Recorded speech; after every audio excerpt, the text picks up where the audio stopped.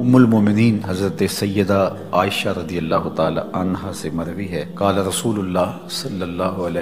वसल्लम निकाह मिन सुन्नति फमल्लम यामल बेसुन्नति फलैसा मिन्नी।